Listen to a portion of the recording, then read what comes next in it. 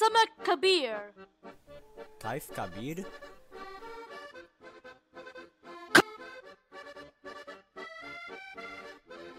The FitnessGram Pacer test is a multi-stage aerobic capacity test that progressively gets more difficult as it continues.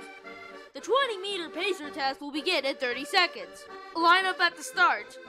The running speed starts slow but gets faster. Each minute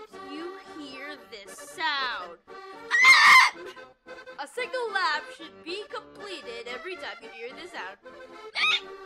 Remember to run in a straight line and run as long as possible. The second time you fail to complete a lap, your test is over. The test will begin on the word start. On your mark, get set, start!